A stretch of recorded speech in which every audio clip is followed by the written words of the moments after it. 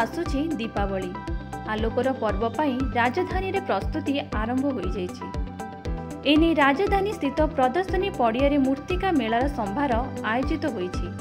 ରାଜ୍ୟର ପ୍ରାୟ ବିଭିନ୍ନ ଜିଲ୍ଲାରୁ ଦୁଇଶହ କାରିଗର ଓ ସ୍ୱୟଂ ସହାୟକ ଗୋଷ୍ଠୀ ମିଶି ଶହେଟି ଷ୍ଟଲ୍ରେ କାରିଗରମାନେ ନିଜର କାରିଗରୀ ପ୍ରସ୍ତୁତ କରିଛନ୍ତି।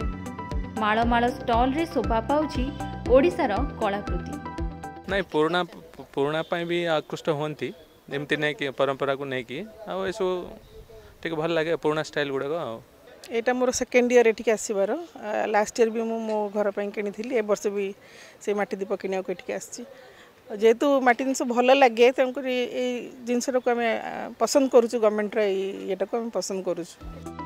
ଆଧୁନିକତାର ଛାପ ତଳେ ଛପି ଯାଇନି ପରମ୍ପରାର ଚିତ୍ର।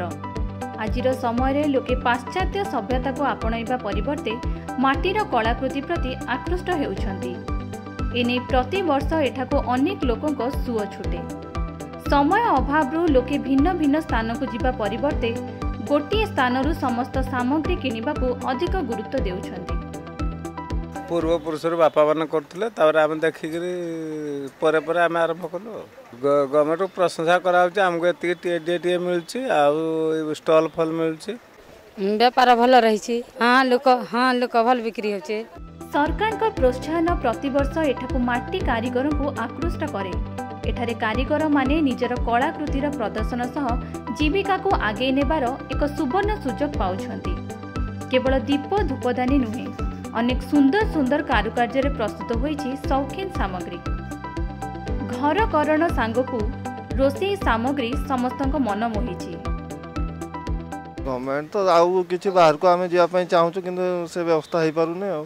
ଆମେ ତ ଚାହୁଁଛୁ ସେଇ ସେତିକି କରିଦେଲେ ଆମେ ଆଉ କିଛି ଇନକମ୍ ବି କରିପାରୁଛୁ। କଳା ସଂସ୍କୃତି ସହ ଜଡ଼ିତ ଥାଏ ପରମ୍ପରାର କଥା। ସରକାରଙ୍କ ଉଦାରତା ଯୋଗୁଁ କାରିଗରମାନେ କିଛି ସୁବିଧା ପାଇପାରୁଛନ୍ତି।